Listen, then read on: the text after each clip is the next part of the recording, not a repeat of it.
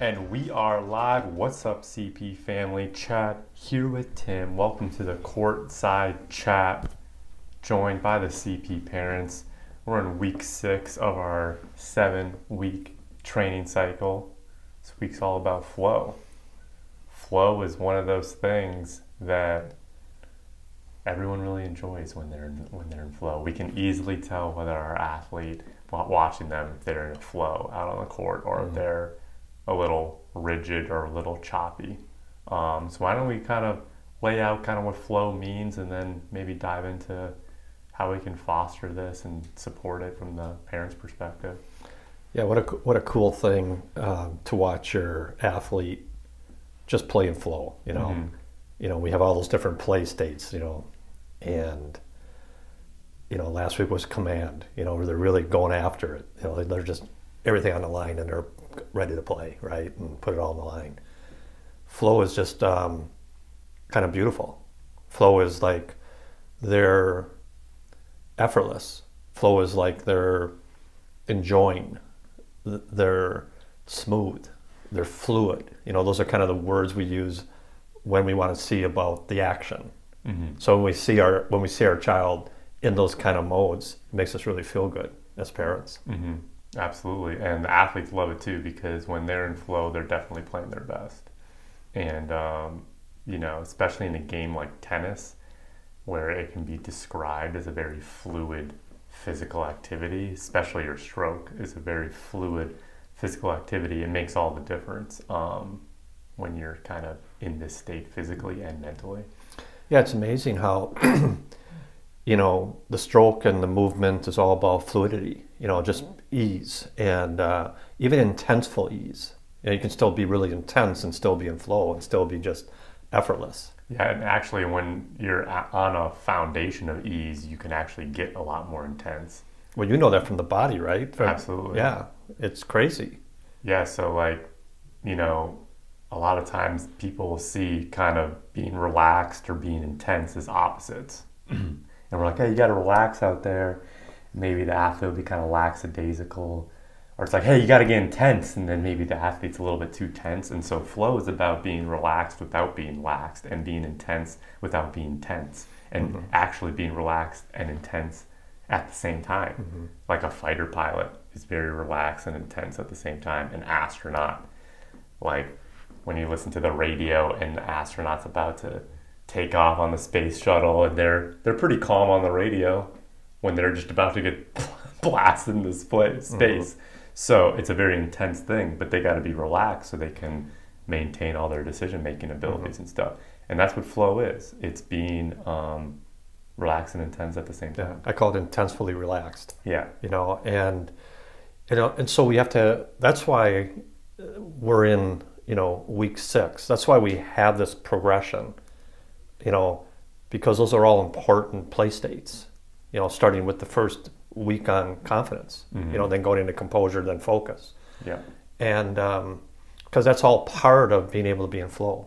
Mm-hmm. You know, but this is a cool week. This is a week that we want to um, observe this. We want to kind of like allow the space to be like this, so that as parents, you know, we want to be in flow. We we we don't want to be tense and tight when we actually watch them or um, you know or as they compete. We that's how we can kind of support that. We can support that by us being kind of more present in the moment and just sort of enjoying understanding that this is an important week. This is really why we put them in sports so that they can learn this you know? That they can learn when there's things happening that they can be so and um, you know bring their focus and their being so much in the present moment that they can just be effortless and flow and fluid in their movements and um, it's kind of like you know we don't worry about the score even though we know there's a score we don't we don't really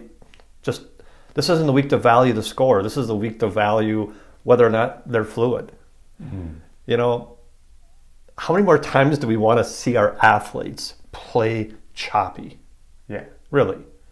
Because that's what's happening most of the time when they're not in this kind of training. They're, they don't have a mechanism or a structure or tools they don't even have content to be inspired to do this. Mm-hmm.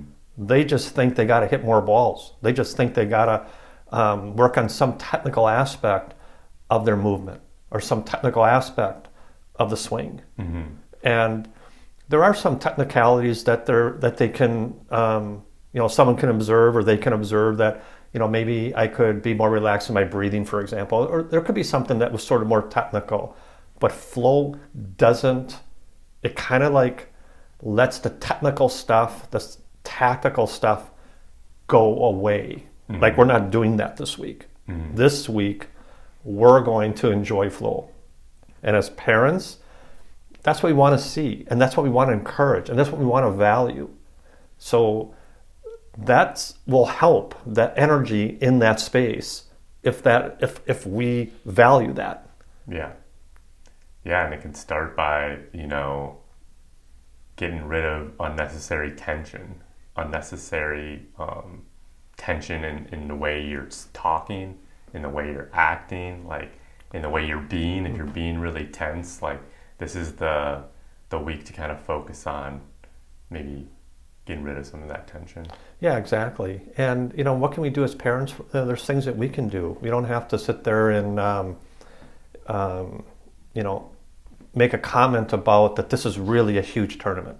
hmm You know, just something like that. Or like add unnecessary pressure. Yeah, by by some of the things that maybe it is a pretty big deal. You know, maybe it is. You know, it's a 64 draw. You know, they just had a Bobby Curtis um, state championship here in Florida. They just got done with that huge tournament.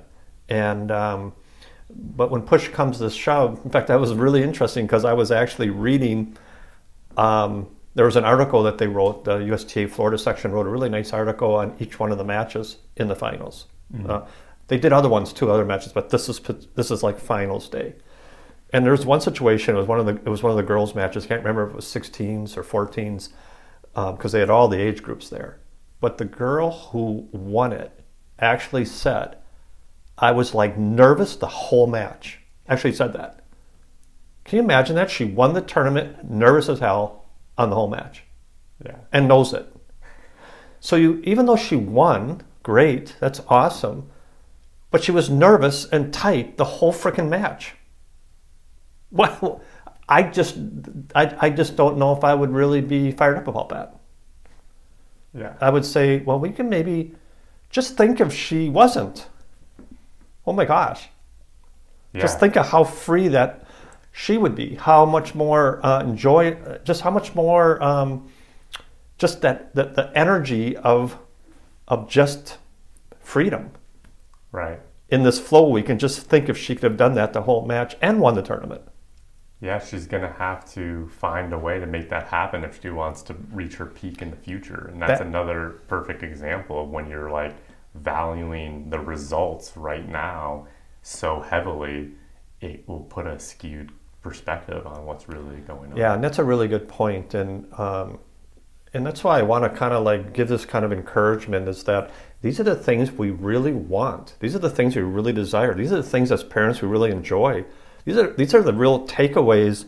If we can see our our athlete just um, in every one of these play states, but as we wind down week six and then next week week seven is play, and they're playing their game the way they want to play their game in all these kind of frequencies of the play states that you know that we have here. Yeah. it's just lights out. Not only for us as parents to watch that it would just make our heart melt to see that. Um, win or lose that's the whole thing. Win or lose because at the end of the day losing is just as important as winning in the scheme of things sometimes more important but i like the winning you know i mean really Yeah, yeah. but That's you a learn great point, though. Yeah. yeah, you learn so much on losing, and it's kind of yin yang. You got to have them both. It's North Pole, South Pole. You got, you know, you got all these different poles, and that's all part of the process. And and right now, flow is kind of like evening it out and just letting it happen, and and and putting a dance to it or putting a beauty to it instead of this tightness, choppiness. Um, it's kind of interesting because one of the things that happens a lot, and maybe I think uh, you know every one of you parents, you probably have- have experienced this too. But when we're watching our athlete play, and say they're returning serve, and the serve, the first serve is out, and they hit such a flowy, fluid, beautiful return back, like it was crazy. And then the next serve comes in, and it's in, and they're so choppy and mm, just Yeah. trying to struggle that ball back over. It's so true. Yeah. Right? We see that, right? Yeah. I go, well, what's going on? What's going on is they're not in flow. What's going on is they're not present in the moment. They're not mind body connected. That's what's going on. And that's what each one of these weeks and these play states is helping them get into these play states of playing their game so they don't do that. Mm-hmm. Can you imagine just being flowy when the when the serve is in? That's what we want to see. That's what we want to see. And that's what we will see as they keep this training because that's what we're all about. That's what we're tr- that we're all in this together. We're all in this together, supporting one another. Yeah. You know, we're inspiring, we're we're equipping, and and and then we're empowering. Like this is empowering, man. This is really cool. Yeah. I love this week. This is a great week. This is a great week for us parents to enjoy. 100%. I love it too. Um, yeah, I think we'll end on that. And um, great, great uh, discussion. This is one of my favorite weeks as well. Um, it's a very enjoyable week for the athletes as they um, experience this training in a new light. And so we're really excited about it. And we'll see everyone next Tuesday for our last Tuesday call of the cycle. Really excited about wrapping up this cycle and launching the next one. So make sure you tune into that. We'll see you mm-hmm. on the next one. Peace. Love, Love you you. guys.